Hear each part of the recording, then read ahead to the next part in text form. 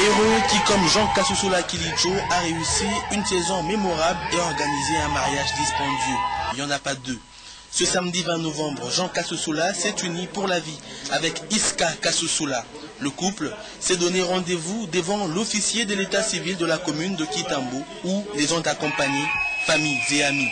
Jean et Iska Kasusula, après les préceptes de l'officiant, ont échangé solennellement des promesses, promesses scellées par l'échange des anneaux.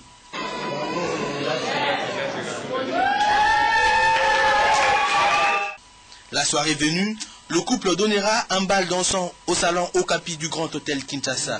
Smoking recommandé.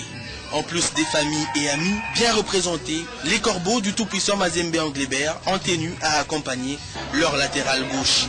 Kasosula montre le ton après une danse romantique dans les bras de l'heureuse Iska avant le dîner.